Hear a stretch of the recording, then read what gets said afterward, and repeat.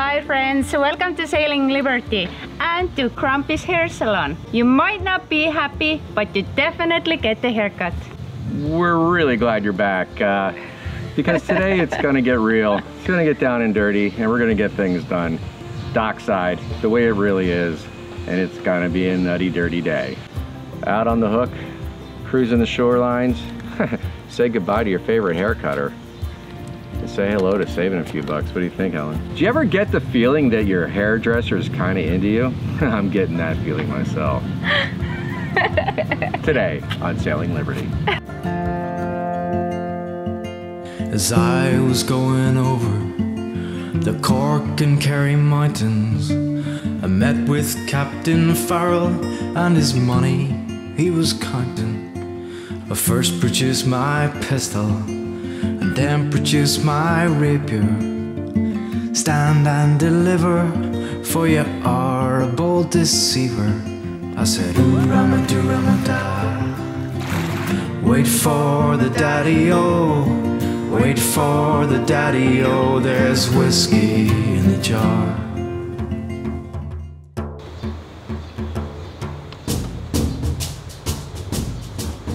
Just setting the boat a bit better.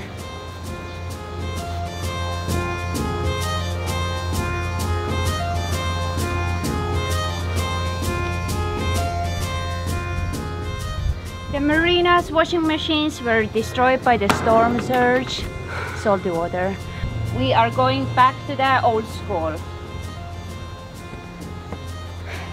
Plunger and the bucket.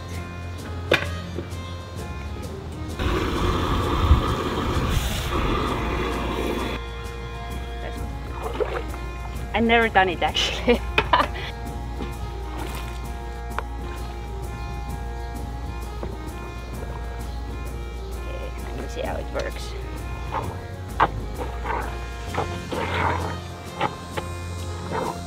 how you came up with that idea? Uh, it had a handle on it already? Yeah, Yeah. It sounds like it's working. it's doing something. Having clean clothes? Yeah. Don't mind if I do. I'm gonna let them soak and get on to the next thing.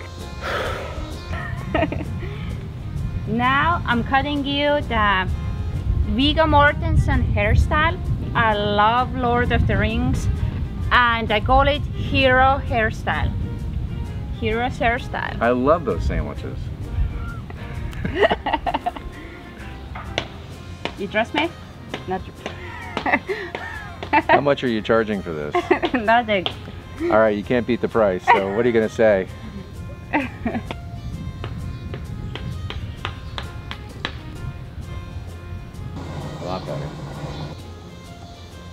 Dave's haircut is ready. Many of my hairs have been cut, and that's a fact. Thank you, sweetie. I'm cleaning this mess up from the hurricane and then I'm gonna rinse everything with the fresh water because the water that came in was all brackish. First thing, I just gonna Back to the sea. back to the sea. Yeah, I took my rings off. Uh, some of you have recommended not to wear any jewelry when I'm working and uh, I read your comments and remember them and take your advice.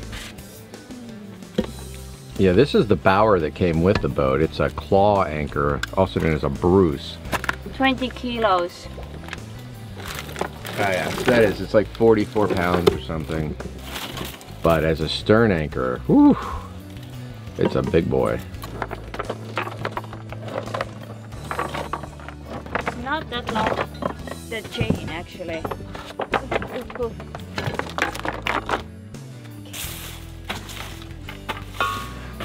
Ship shape shape that is.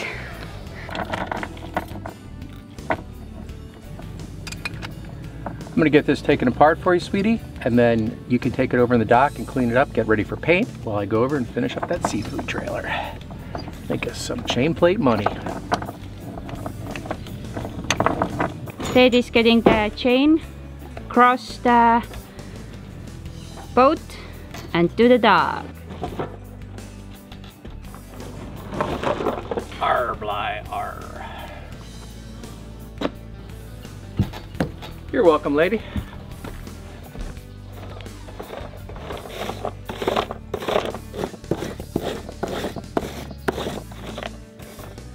All right, we are going a little wire brushing in here. We are not going for the perfection, just better than it was. Just getting the salt water off. And the dust.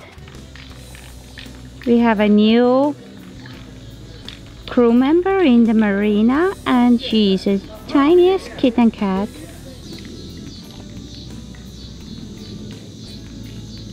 Are you the cutest? Oh, oh, so cute.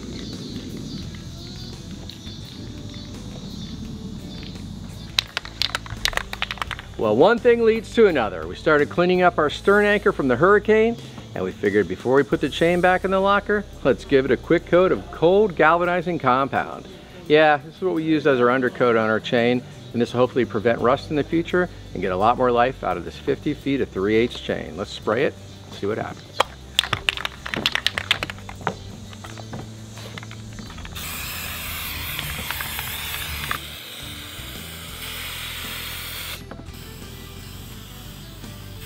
Gotta love the look of that. It's like brand new chain.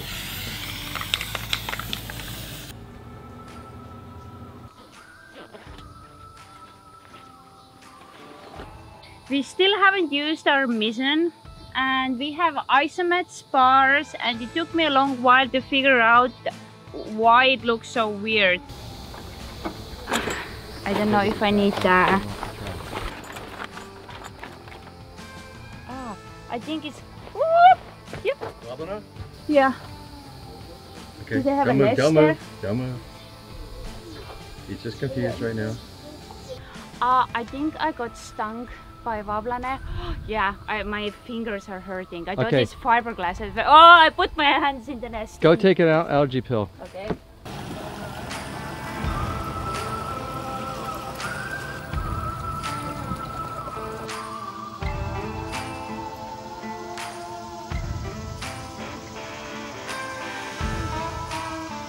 We relocated the box. They had 24 hours to go and now we continue on with our project.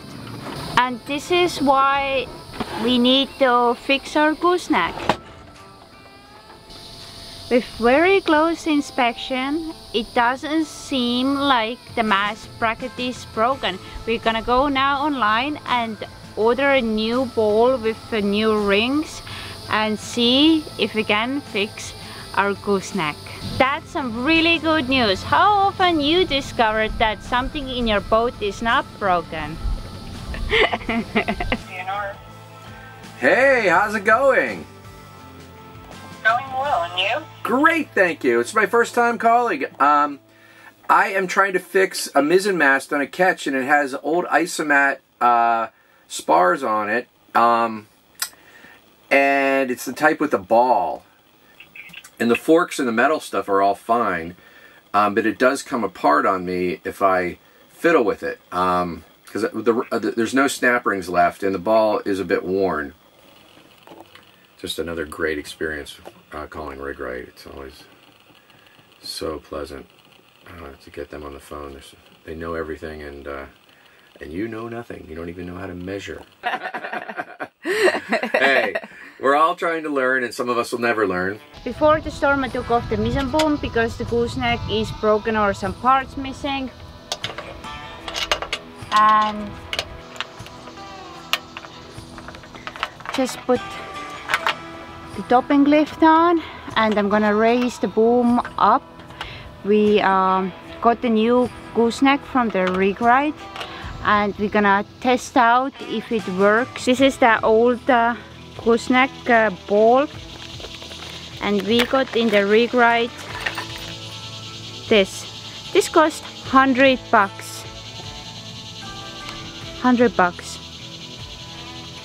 Seems like a ripoff. Turns out these rings are really stiff, so I'm hoping I can get it because Helen's little kittens are too cute to try to pull this thing around the ball.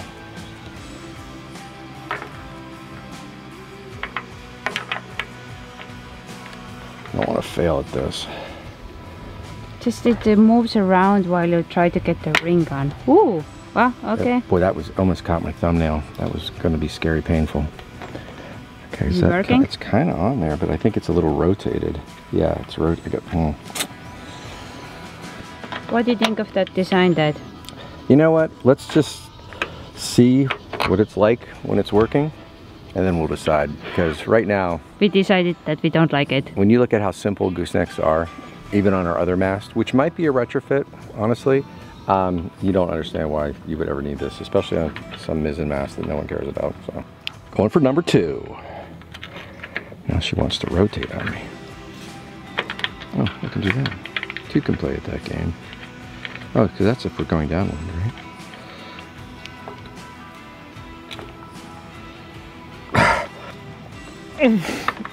Why is this one harder? Oh, because it's sprung apart.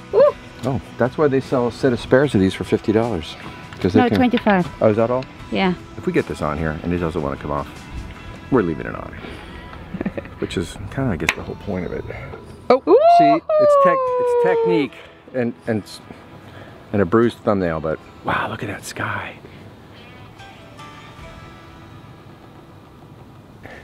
It's that kind of stuff that really perks you up here in paradise. So it's on. I think it's on there. Should Let's we try? try. it? Wow, it feels good. Really? Yeah. Can I try?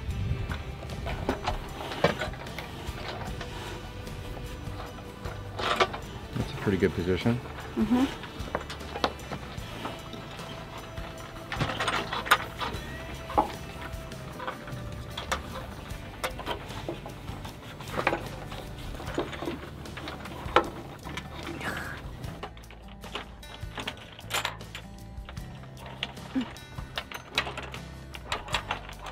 I think it's in.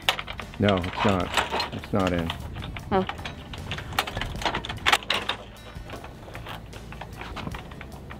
Oh, it's going in between of this. Like it's not even. We still haven't even used our mizzen mast. This problem has kept us from even putting the sail up with some wind going, so.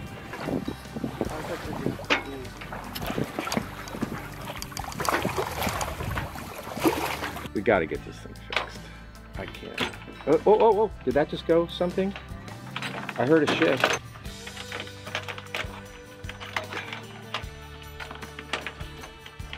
It's like, it's like separating for some reason. The ball. What the hell is going on here?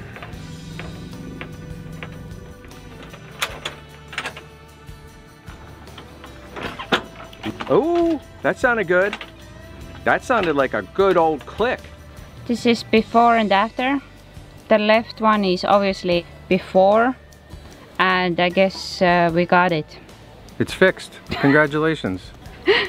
we did it again. Let's get down there and uh, straighten out those post-it notes. It's the countdown to the voyage. Welcome aboard.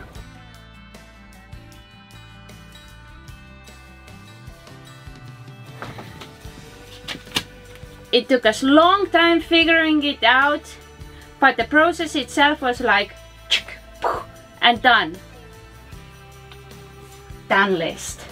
It seems like less than a week since we sent the battery in. Pretty crazy. I think they must see the tracking, take active shipment, and then boom, it's on its way, and they just ship the next one out. And they sent us a brand new one. We love this military grade stuff. VMAX. But I'll tell you what, it's really heavy.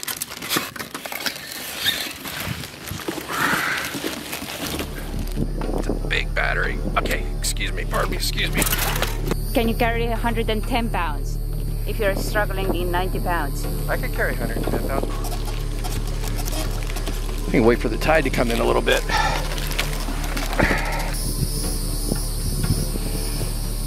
Yeah, that's pretty heavy.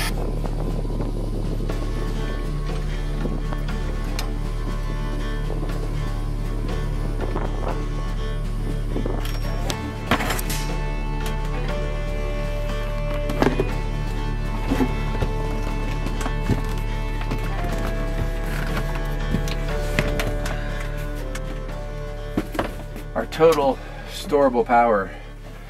This is represents over 300 amp hours. Not identical to 300 amp hours of lithium, but still a lot.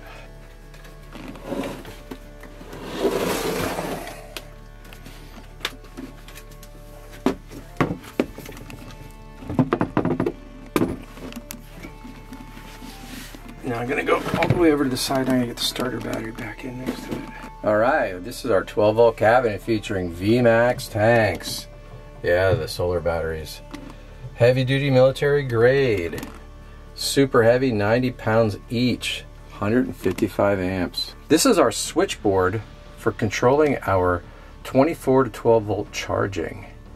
We take our 24 volt lithium, we run it through a Victron Orion. We can route the juice through these switches to each and every battery on the boat and control its charge profile and uh, bring it up to speed anytime we want.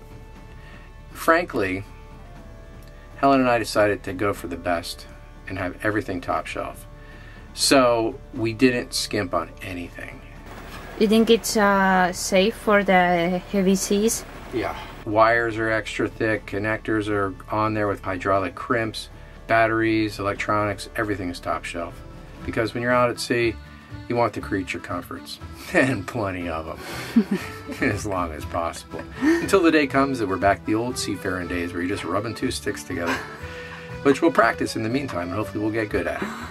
Oh wow, you don't remember how you put it today. Oh, How it's you been done take it before. Uh, Maybe I have to do this. You will figure it out eventually. There we go. Got to door hinge it in there. Where it goes to hot. Keep them separated and uh, get them equalized in voltage. Hey, if somebody wants to get us another Petzl uh, headlamp, then they are in our Amazon wish list. Now I'm taking the opportunity to check if this battery which we got is in the proper voltage range before we do anything with it. Uh, between 12.5 and 12.4. That sounds fine. Mm-hmm. Want to check the starter battery since we have it disconnected? It's been charging. 9.2. Yeah, it's 9.2. No- Wow. Okay, I was concerned about that battery. It was acting up before. Okay, so it's no point to even connect it at the moment, or uh, it's shot, right? Yeah.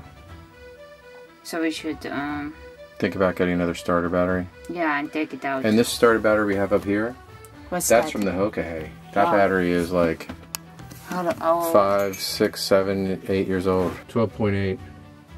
That's good. it's actually a pretty good battery. All right, West Marine. Wow. Okay, so this is uh, good?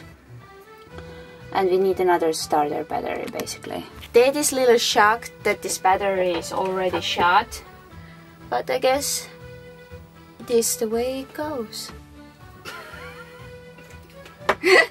It's just a starter battery, you know, but it's like automotive, so whatever. We'll get another one. We'll get hopefully something better. We'll figure out the better way to do it, and we'll do it the better way, the boat way, the marine way, the big money way.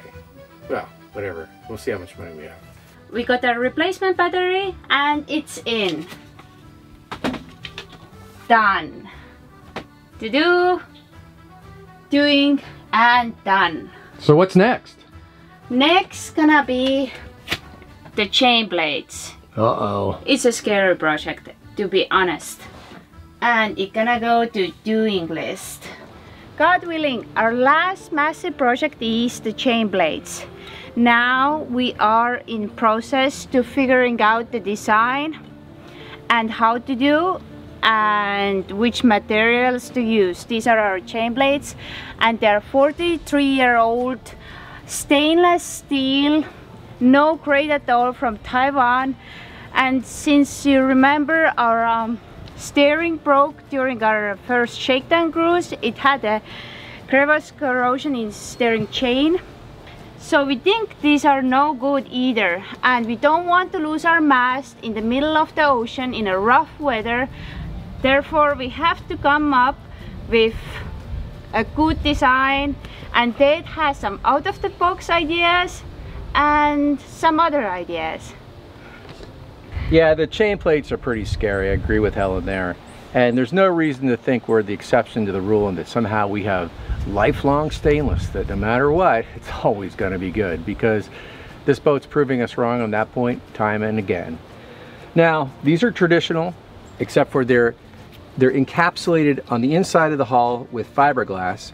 And then to top it off, they are totally um, behind the fanciest cabinets and woodwork and all that that we love about this boat. So the last thing we want to do is start tearing our cabinets out and then grinding fiberglass. So instead of trying to replicate what was here already, which we don't even like anyway, we're going to do something totally new and we'd love to hear what you guys think about it. We're going to create an entire plate the whole way down this gunnel to cover all three of these points for our shrouds.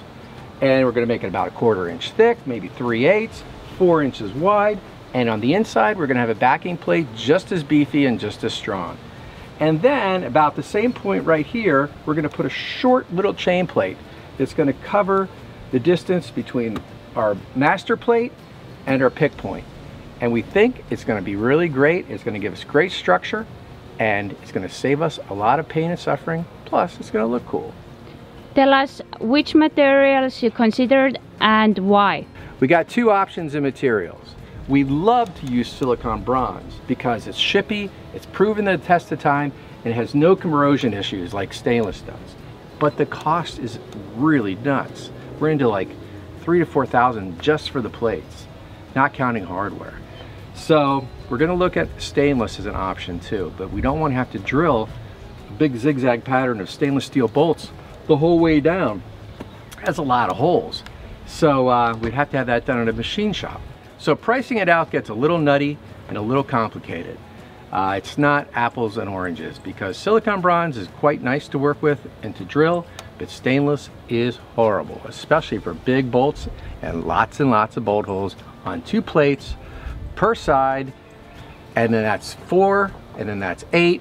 It's a, we have a ketch, so we're looking at eight different plates with this same treatment. So it's a lot of work, a lot of materials, and we gotta figure out how to do it right. So we're looking for materials and we're also looking for machine shop options. Let us know in the comments any good sources or machine shops that you guys know about. The last thing I want to do is drill 80 holes in 316 stainless, half inch diameter. There aren't enough drill bits in the world to make me want to do that. And sure aren't enough drill bits in my box to get it done. We're going to think about sharpening drill bits. It seems like a good old-fashioned idea that's time has come when you're buying drill bits for $30 each. you hate to throw them out so quick. Wow, you know, I never did a custom trailer for anyone except myself before. But I gotta tell you, this one's beautiful. It's a vintage seafood trailer, and now it's in all its glory with a couple of little extra upgrades, modernized insulation, and a snazzy paint job. You gotta love a thing of beauty. A thing of beauty is a joy forever. Thank you, thank you.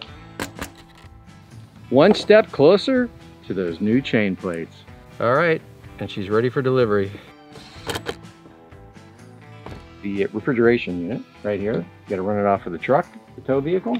Got a brand new electrical system for our marker lights, tail lights, and backup lights, and we got safety chains all mounted up with some hardened bolts, ready to go.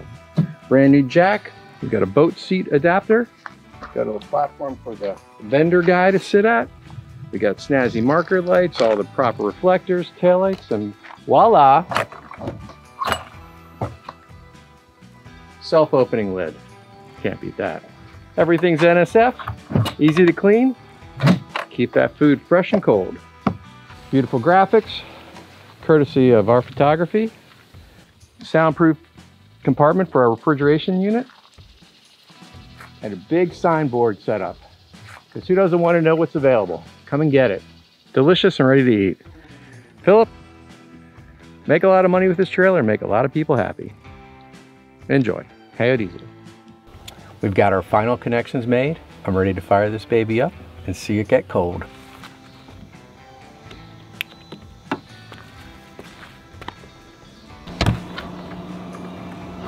Is it working?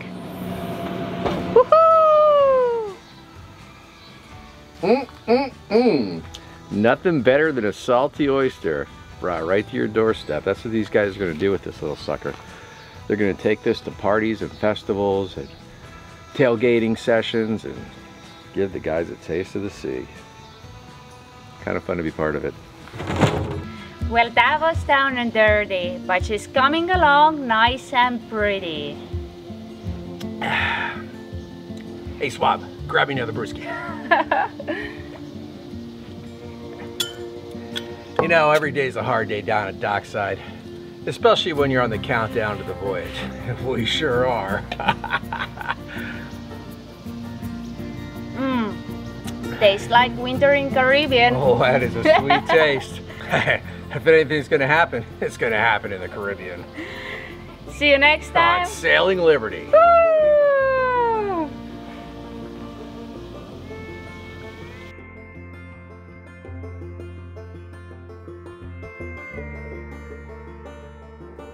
Thanks for watching. If you like, comment. And please subscribe. We're a new channel. Every subscription counts. Thank you so much. And we look forward to seeing you on the next show. Sailing Liberty.